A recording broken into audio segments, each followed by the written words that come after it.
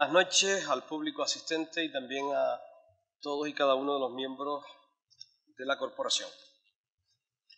En virtud de las atribuciones que me confiere el artículo 21.1c de la Ley 7 1985 de 2 de abril y artículos 41.4 y 134.3 del Real Decreto 2568 1986 de 28 de noviembre por el que se aprueba el Reglamento de Organización, Funcionamiento y Régimen Jurídico de las Entidades Locales, ROP, por la presente, resuelvo. Se ha convocado pleno con objeto de celebrar sesión ordinaria que tendrá lugar en el Salón de Plenos de la Casa Consistorial hoy día 25 de enero de 2016 a las 19 horas, con el siguiente orden del día. Parte decisoria.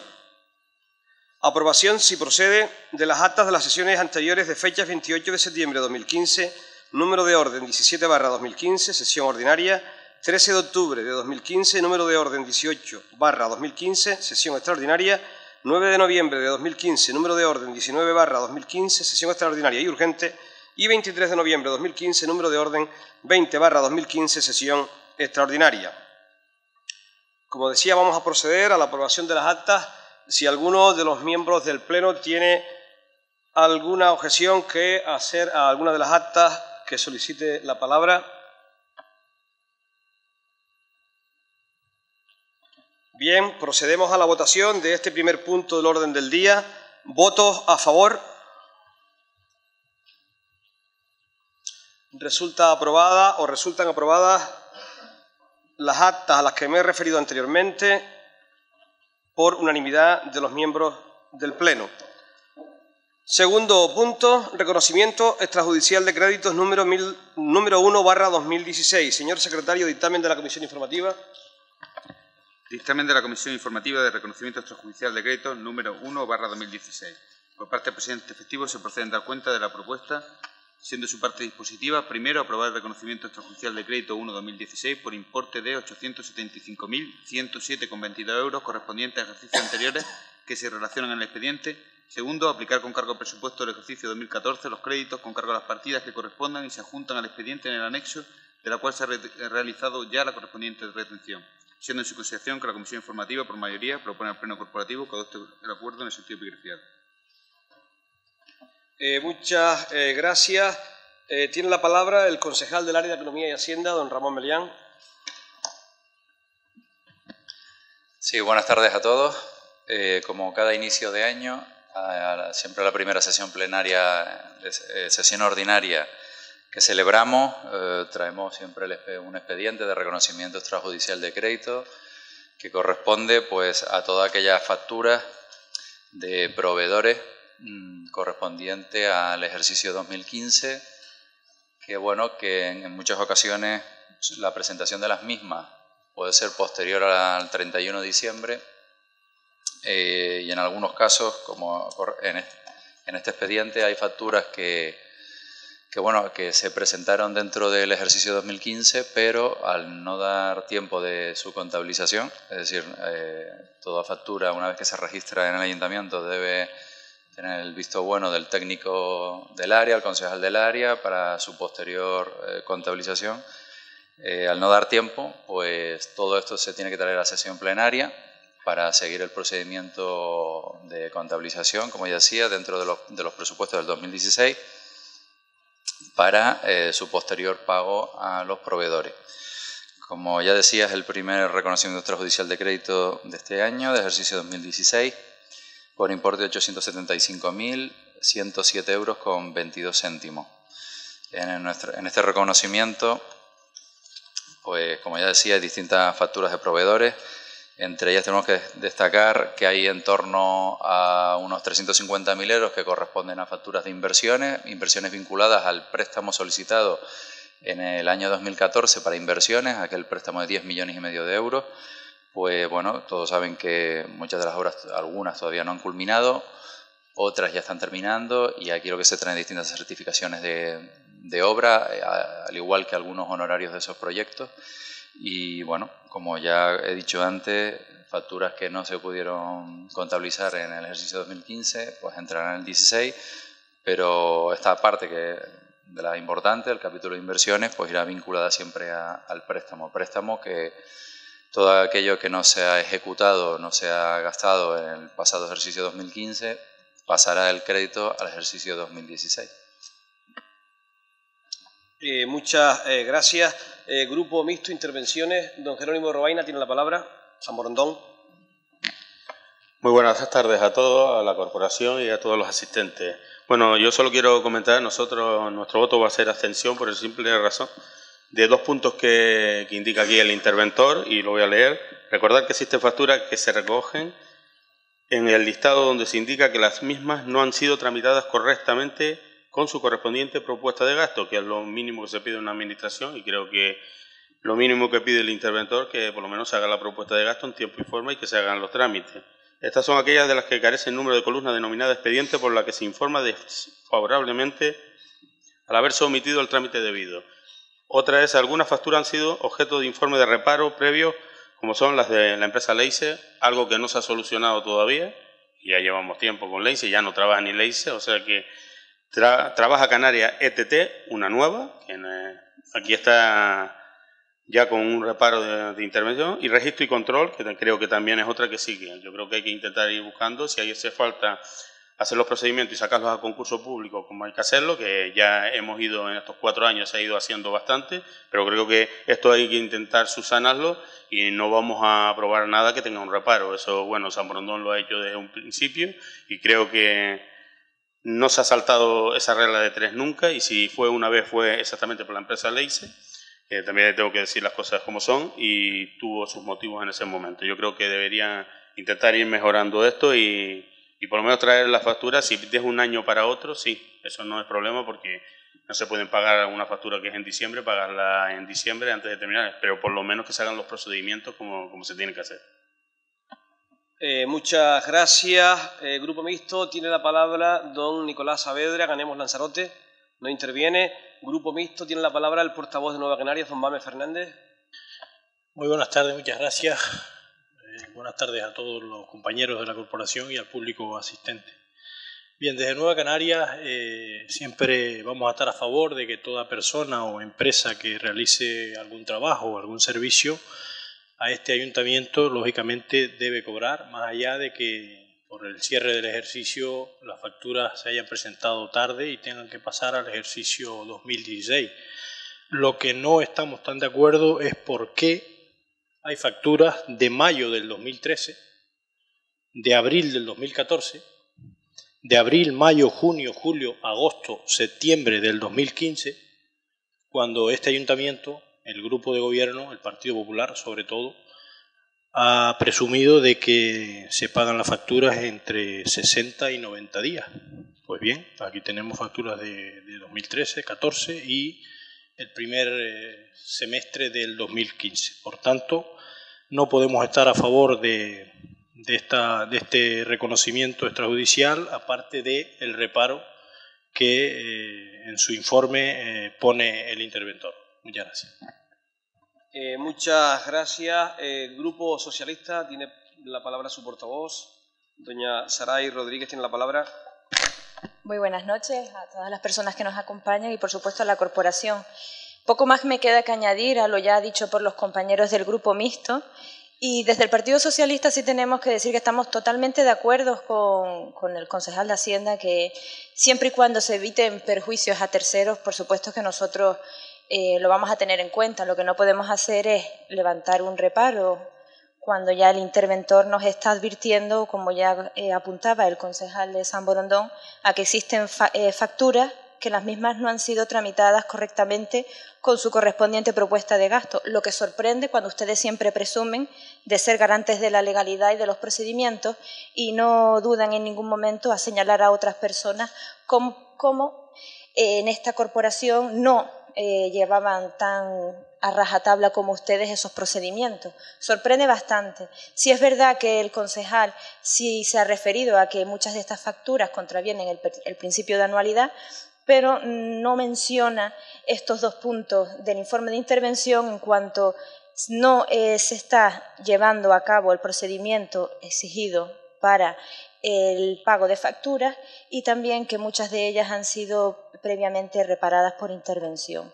Simplemente apuntar eh, que el informe de intervención no nos permite dar un voto a favor a esta factura, lo cual sí nos gustaría porque son trabajos que se han hecho y toda empresa tiene derecho a cobrar siempre y cuando haya prestado un servicio, pero nuestro voto va a ser abstención debido al informe de intervención. Muchas gracias. Eh, muchas gracias. Eh, ¿Va a intervenir?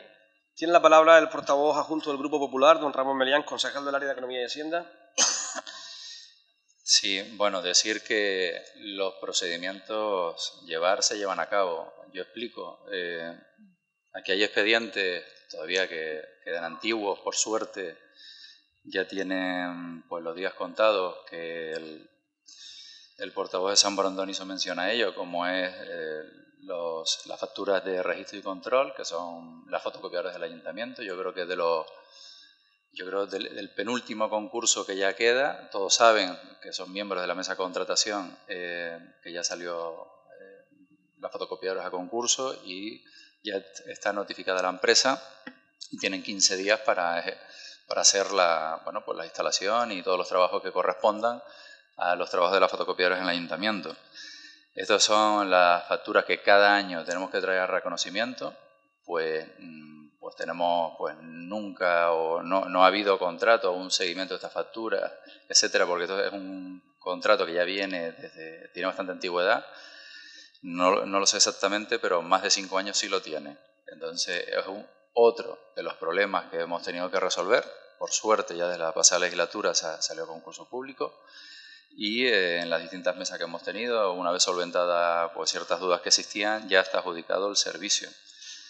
Existen eh, otras facturas que, el, procedimiento en sí no se puede llevar a cabo, pero por ejemplo la factura correspondiente a Javier Nieto, que es el registrador de la propiedad de Tía.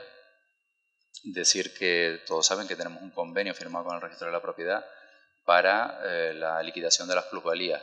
Desde que tenemos este convenio con el registrador, pues el volumen de recaudación de este impuesto, el impuesto de incremento de valores, eh, llamado plusvalías, pues estamos recaudando prácticamente más del doble de lo que se venía recaudando. Estas facturas pues las presenta el registrador pues, dos, tres veces al año, ¿no? se presenta más y cuando las presenta, como en este caso que fue a final de año, pues ya tenemos que traerlas a reconocimiento eh, en esta sesión plenaria.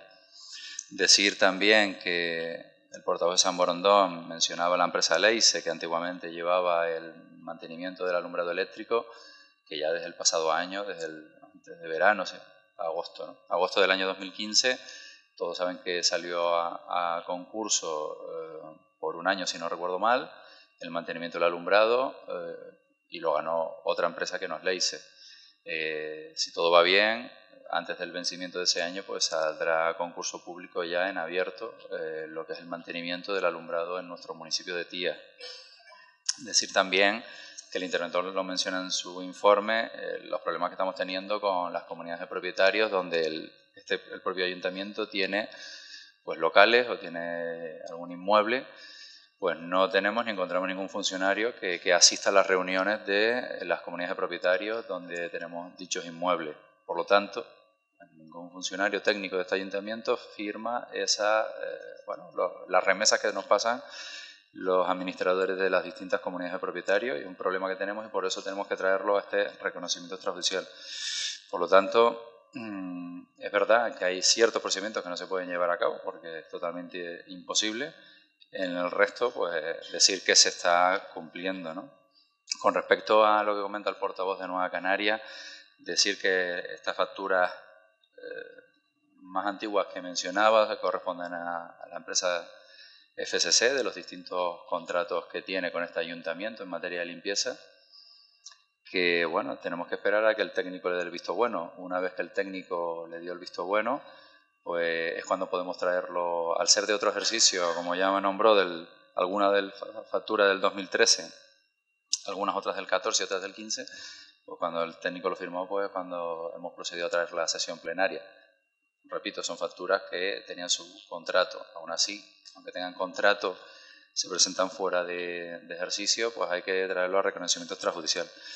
Por lo tanto, eh, como comentaban pues la mayoría de la oposición, son trabajos realizados, servicios hechos en el municipio de Tías y el, procedimiento es reconocer estas facturas para eh, su posterior pago.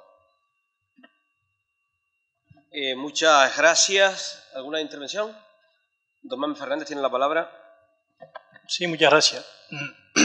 No, mm, el concejal de Hacienda dice que la factura del 2013 es de FCC. Mm, lo que tenemos aquí es, dice, consultores y ensayos entre islas.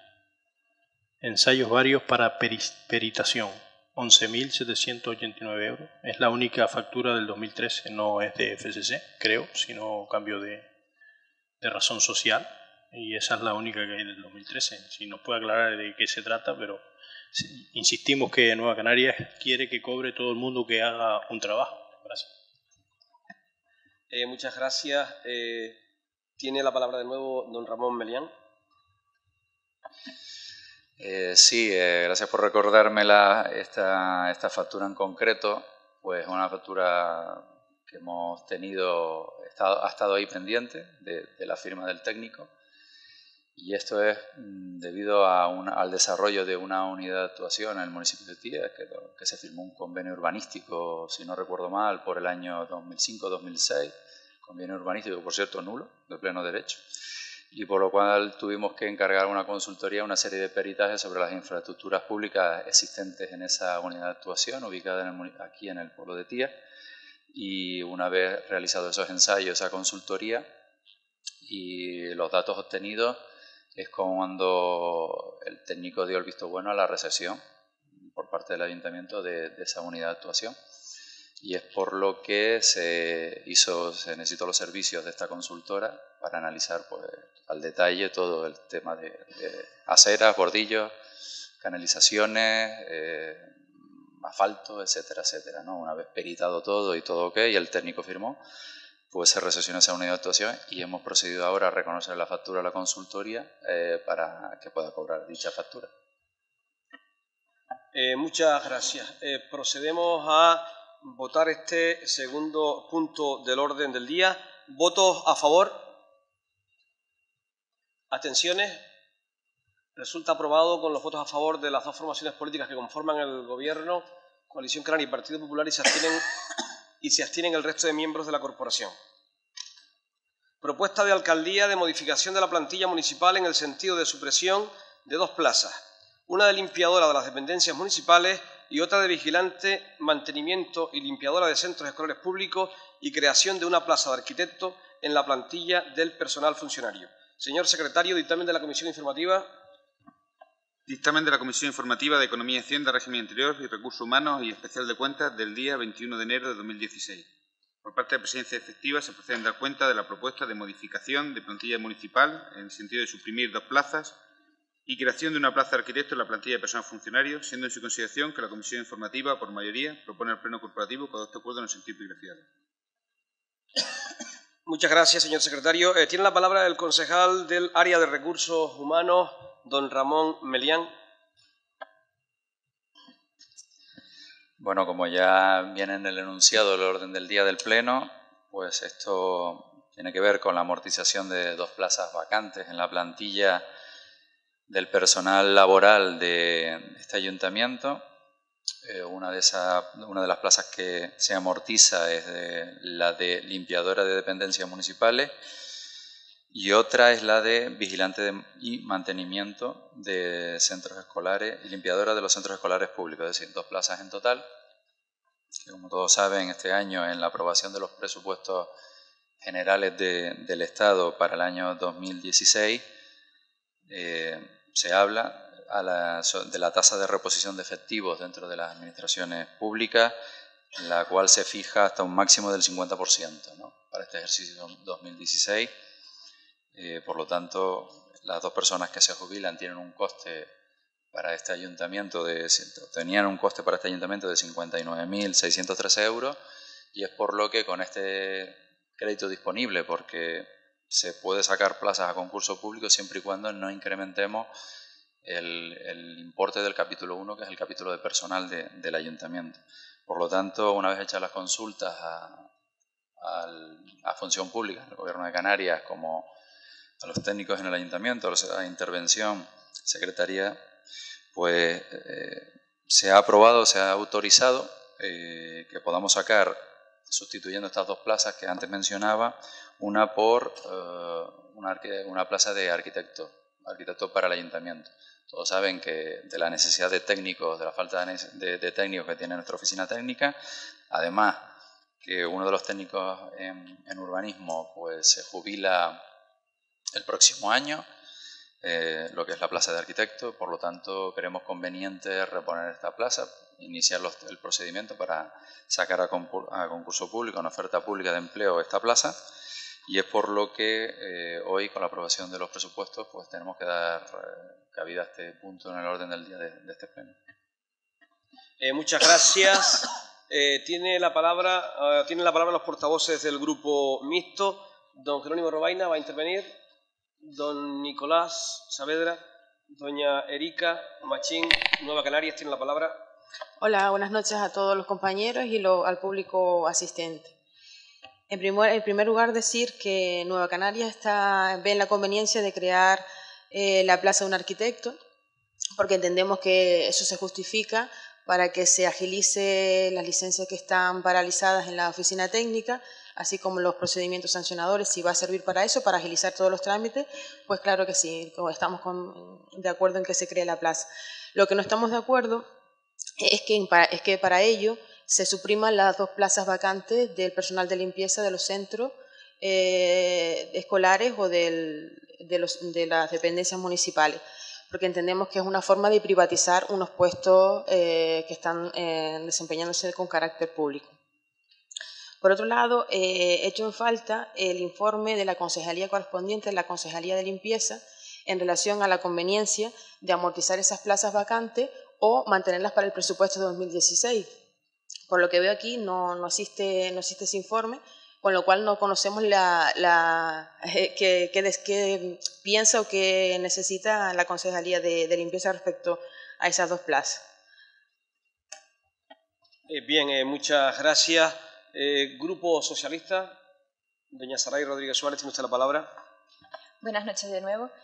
Eh, desde el Partido Socialista, por supuesto que siempre vamos a estar a favor de que la Administración se agilicen los trámites, sobre todo cuando tenemos aquí un informe en donde se especifica que debido a la nueva ley que ha entrado en vigor de 14 barra 2014, pues se han encontrado con procedimientos en donde deben ser los servicios técnicos municipales los que deban previamente constatar que, que el orden jurídico se ha perturbado. Entonces se han encontrado con una situación en donde no tienen los medios humanos necesarios, según este informe, pero sí que debemos de recalcar en algo muy importante que ya ha apuntado la compañera de Nueva Canaria, y es la privatización de servicios a través de puestos de trabajo, por ejemplo, eh, vamos a ver, es que hay algo que nos llama la atención y es que por un lado tenemos aquí la propuesta de alcaldía en donde dice baja voluntaria de sus titulares, es decir, de las dos plazas vacantes de personal laboral eh, limpiadora de dependencias municipales y otra de categoría personal vigilante mantenimiento, que no es necesario cubrirlas con personal de la plantilla, ya que este servicio queda cubierto por contratación externa que se está llevando a cabo con la empresa Fomento y Construcciones y Contrata Sociedad Anónima, que actualmente está en vigor. Pero después, sin embargo, en el punto anterior nos encontramos, y espero que este punto me lo aclaren porque tampoco es muy extensivo la documentación que nos aportan, en donde trabaja Canarias ETT SL, eh, procede a contratar servicio de tres limpiadoras durante 23 días, servicio de tres limpiadoras a cuatro horas 21 días, servicio de tres limpiadoras cuatro horas 21 días, servicio de dos limpiadoras cuatro horas 21 días, limpieza de dependencias municipales del 1 al 16 de noviembre, servicio de tres limpiadoras del 17 al 30 de noviembre. Entonces, no entendemos cómo es que este servicio de limpieza se está realizando por la empresa de fomento, construcciones y contratas y a la vez la empresa ETT, eh, eh, Trabaja Canarias, mm, también está eh, prestando servicios al ayuntamiento para limpieza de las dependencias municipales. Por lo tanto, mm, por un lado, no entendemos cómo se procede tampoco a la amortización de plazas vacantes, cuando también tenemos informes de la policía local en donde nos dicen que uno de los problemas que tiene el colegio de tías en cuanto al vandalismo en horario en donde el colegio está cerrado se podría solventar, por ejemplo, con una plaza de vigilante mantenimiento en horario no lectivo y sin embargo, durante estos años atrás ustedes no han planteado la opción de poder crear esa plaza, que era una de las soluciones que en ese informe se daba al Ayuntamiento de Tías. Mm, estamos a favor, por tanto, de que sí se cree esa plaza de arquitecto municipal porque entendemos que está fundamentada su necesidad, pero también creemos que mm, los puestos de trabajo no se pueden privatizar, que debemos de priorizar también que han habido durante estos años atrás otras necesidades que no se han cubierto y que sobre todo em, las partidas a cargos de confianza deberían de quizás mm, poder reportarse al capítulo 1 de los presupuestos, incrementarlos y poder así crear más puestos de trabajo. Muchas gracias. Eh, bien, eh, le cedo la palabra de nuevo al concejal de Recursos Humanos, eh, don Ramón Merián. Tiene usted la palabra. Bueno, decir que privatizar no es que se esté privatizando ahora, no hemos inventado nosotros nada nuevo. Tías lleva con el mantenimiento a través de una empresa privada del, alumbrado eléctrico, yo no sé, pero más de 20 años. Es decir, si empezamos a hablar de privatizaciones, Tías fue un ejemplo de lo que era privatizar servicios que ejercían funcionarios o personal de, todos los ayuntamientos de la isla de Lanzarote. ¿no? Por lo tanto, eh, decir que actualmente los servicios de limpieza de dependencias lo está realizando eh, una empresa externa, eh, como es la limpieza de colegios y, el resto de dependencias municipales, así como lo venía haciendo también la limpieza de, los balnearios, de los baños que están ubicados en, la playa, en las playas. ¿no?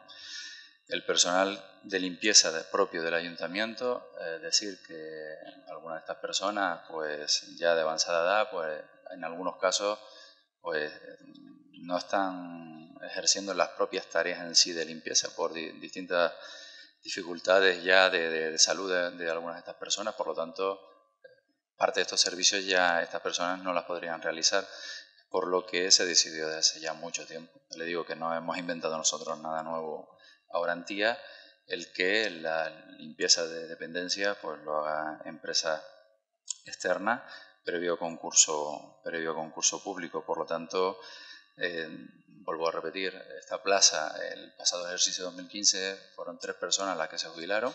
En un principio, como ya decía, la tasa de reposición es del 50%, pues podríamos sacar, en este caso, una plaza, que es la que nuestra intención, y para este año 2016 pues seguirá habiendo alguna que otra jubilación en este ayuntamiento y dentro de la medida de lo posible le intentaremos sacar a concurso público aquellas plazas en la rama técnica, que es donde más escasea eh, pues las plazas en este ayuntamiento. Recordar que tenemos en torno a 190 trabajadores, incluyendo los funcionarios de la policía local y técnicos, pues creo que hay unos 10, si no recuerdo mal, ¿no? Es decir, hay una necesidad extrema de tener más técnicos y debido, pues, no nos olvidemos que actualmente hay departamentos como, bueno, pues como el de actividades clasificadas, que se ha visto incrementado de forma importante el volumen de trabajo, la oficina técnica con el tema de de todos los nuevos proyectos, licencias de obra que hay que sacar, la disciplina urbanística, etcétera. Son departamentos que a día de hoy tienen mucho volumen de trabajo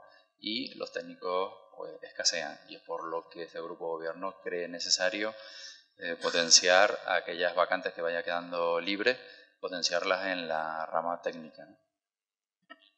Eh, muchas gracias. Intervenciones.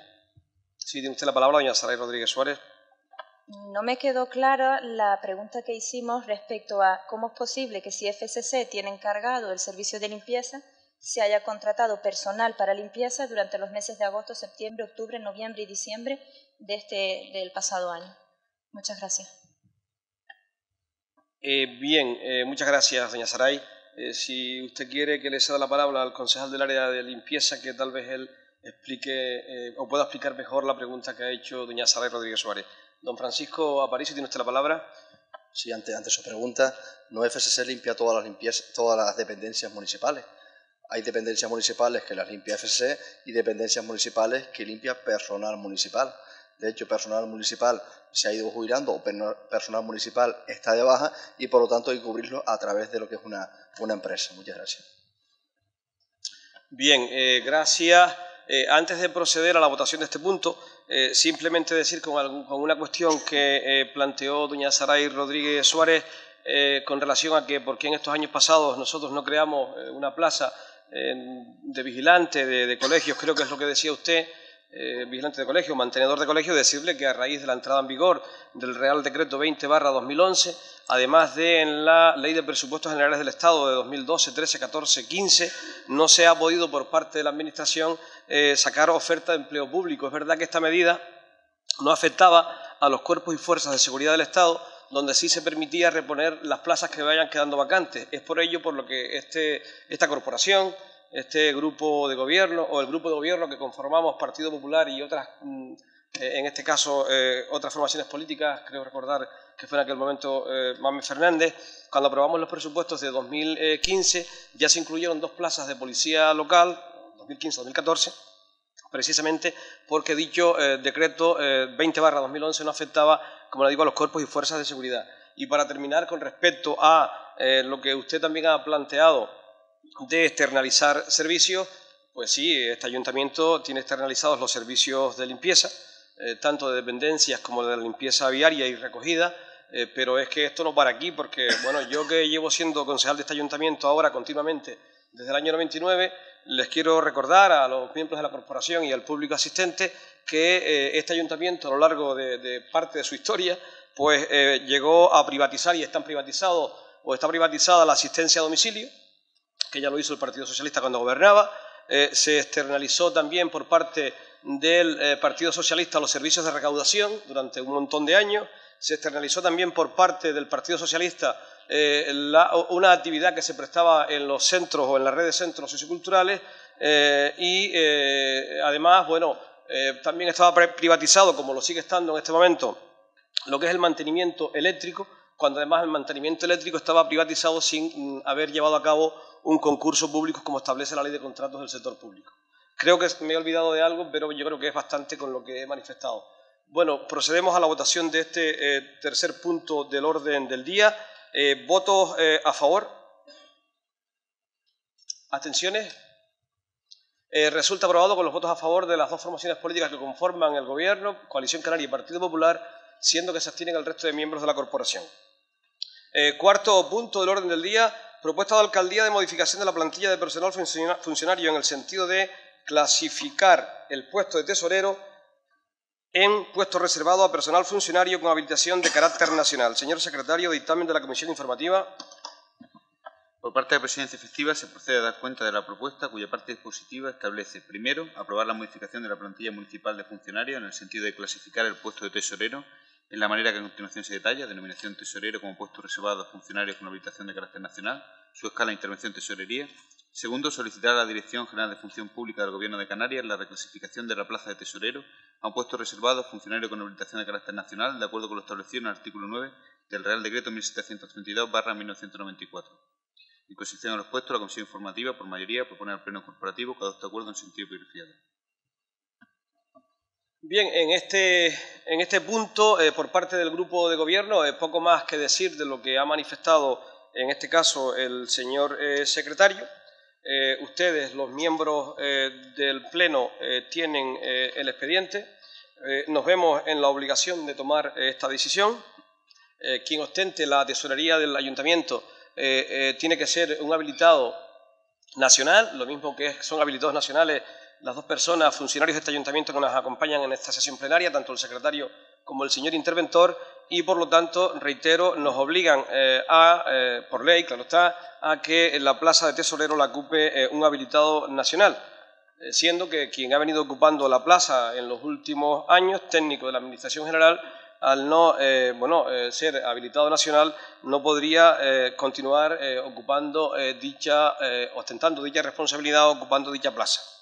Por ello, reitero, es por lo que nos vemos en la obligación de tomar eh, este acuerdo, el que se especifica en el eh, punto eh, número 4 del orden del día. Reitero, me remito a las palabras o a lo manifestado por el señor secretario con respecto a lo dictaminado por la Comisión Informativa. si algún miembro de la oposición quiere intervenir, grupo mixto, intervenciones, don Jerónimo no interviene, don Nicolás Saavedra, Ganemos Lanzarote, interviene usted. Don Mame Fernández o Doña Arica, Nueva Canarias, intervención. Tiene la palabra don Mame Fernández. Muchas gracias. Bien, eh, estamos totalmente de acuerdo, evidentemente, de que es un puesto donde hay que ocuparlo con habilitación de carácter nacional, pero por un matiz que se ha olvidado decir, es porque el municipio de Tías tiene más de 20.000 habitantes. Y quiero recordárselo, aquí está el informe del, INE, el Instituto Nacional de Estadística, 20.019 habitantes. El informe de recursos humanos, donde copia y también dice que Tía, con una salvedad, a 1 de enero del 2015, no 1 de enero del 2016, 1 de enero del 2015, 20.019 habitantes. Usted también lo certifica como alcalde. Nuevamente hay otro informe de la trabajadora social, donde así lo certifica igualmente. Y lo que nos da, eh, nos produce curiosidad y no sé qué otro calificativo utilizar es que, si no recuerda mal, en la constitución de esta nueva corporación o en el pleno siguiente, no lo recuerdo porque estoy un poco eh, ido de memoria, no tanto como ustedes, que al parecer eh, en la constitución de esta nueva corporación decían que el municipio no tenía más de 20.000 habitantes. Y es curioso, es curioso que ahora por interés, recoge que el, el municipio de Tías tiene 20.019 habitantes. Por eso estamos celebrando, por eso no, por esta razón no, porque usted decía en aquella constitución de esta nueva corporación que teníamos menos de 20.000 habitantes y por eso teníamos que celebrar las sesiones de pleno cada dos meses. Cuando el informe 1 de enero del 2015. Las elecciones locales fueron en mayo del 2015. Es decir, cinco o seis meses después, ustedes o no tenían este informe o lo hicieron caso omiso a este, a este informe para que los plenos hoy en día en, este ayuntamiento se, hagan bimensual. Por tanto, mm, nos gustaría una explicación, aparte de estar de acuerdo por la ley, porque nos obliga ya que tenemos más de 20.000 habitantes, 20.019, se los recuerdo, 20.019, y lógicamente el Ayuntamiento de Tía tiene unas competencias con más habitantes o con menos habitantes. Evidentemente, con estos habitantes tiene la obligación de celebrar los plenos mensualmente. Muchas gracias. Eh, muchas eh, gracias. Eh, me van a permitir el Grupo Socialista que responda a don Manuel Fernández y luego ya le cedo la palabra a ustedes. Con respecto a lo que usted ha planteado, decirle algunas cuestiones y me quiero referir al momento en que comenzó la presente legislatura, con posterioridad a la celebración del Pleno, donde el Pleno tomó el acuerdo de fijar el calendario de las sesiones ordinarias. posteriormente al Pleno se solicitó por parte de esta alcaldía un informe al responsable de estadística y además también un informe al secretario del ayuntamiento. El secretario, en su informe, lo que venía a decir es lo que eh, establece, en este caso, la Ley de Bases de Régimen Local y además la Ley Canaria de Municipios con respecto a la celebración de sesiones ordinarias eh, en los municipios con respecto a cuando se tiene más de 20 o, más de 20 o menos de 20.000 habitantes y más y menos habitantes. No hablo del caso eh, en concreto de Tía. El informe, y además yo, si usted quiere, le puedo facilitar una copia del responsable de estadística correspondiente, creo que ese informe se solicitó allá por el mes de julio del 2015, venía a decir que este municipio tenía 19.658 habitantes, aproximadamente. No llegábamos a 20.000 eh, habitantes. Por lo tanto, el acuerdo que tomó el Pleno o el Grupo de Gobierno con respecto a la periodicidad de la celebración de los plenos ordinarios en aquel momento es correcta. ¿Qué es lo que ha ocurrido? Y mm, usted tiene este documento, que es el mismo que tengo yo, lo único que usted, y yo le invito a que lo haga, don Mames Fernández, si usted se fija en el registro de entrada de este escrito. Este escrito, al que usted se refiere, entró aquí en el ayuntamiento el 1 del 12 de 2015. Lo que se me dice a mí por parte de los servicios jurídicos del ayuntamiento es que hasta que el INE no comunique el número de habitantes, no eh, eh, sabemos con eh, exactitud cuál es el número de habitantes. Porque usted recordará que en esa sesión plenaria en la que se eh, aprobó el calendario de pleno, usted mismo, antes de la sesión plenaria, se informó y le dijeron, creo que en el Departamento de Estadística, que teníamos mm, algo más de 20.200 habitantes, creo recordar, don Mame, y sin embargo ahora lo que nos comunica el INE es que son 20.019 habitantes. Pero reitero, este escrito que usted lo tiene ahí, yo lo puedo mostrar, si usted no sé si es el mismo, tiene entrada en, el ayuntamiento 1 del 12 de 2015 a las 11.45, Departamento de Estadística, el destino. Y lo que dice es que tenemos 20.019 habitantes. Pero bien, ya que usted ha mencionado esto, eh, quiero recordar, eh, y además eh, que diga si no es así, que con motivo del Día de la Constitución visitamos el Colegio de Puerto del Carmen, nos acompañaba la concejal del Grupo Socialista, doña Saray Rodríguez Suárez, y en presencia de una persona que fue concejal de este ayuntamiento, doña Dunia Hernández, ya les, mm, les hice el comentario de que en esos días nos hubieran comunicado reitero, el Día de la Constitución, como la celebramos el día 6, como bien saben, y pues eso, ese día o el día anterior, que es cuando estuvimos en el colegio, ya les dije que ya nos hubiera comunicado línea que tenemos 20.019 habitantes, que por lo tanto a partir de este año las sesiones de pleno las vamos a convocar mensualmente. Es más, he tenido una conversación con el señor secretario del ayuntamiento hace eh, no más de 15 días, donde el secretario también me viene a, eh, comentar esta cuestión en el sentido de que a partir del mes de febrero los plenos serán ordinarios porque, atendiendo a lo que establece el comunicado de línea, ya tenemos 20.019 habitantes. Simplemente quería hacer eh, estas aclaraciones.